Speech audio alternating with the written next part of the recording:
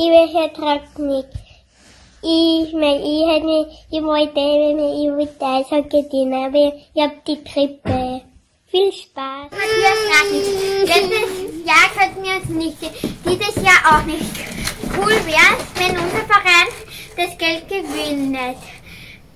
Hallo Matthias Hennig, heute konnten wir nicht sehen, weil alles zugesperrt ist. Und kannst du bitte für die Eishockey-Kinder Eishockey-Auslösungen kaufen und Eishockeyschläger und für die großen Kinder eine Kabine für sich alleine. Tschüss. Denn wir sind ein Team, halten zusammen und haben Respekt, denn wir wollen gewinnen.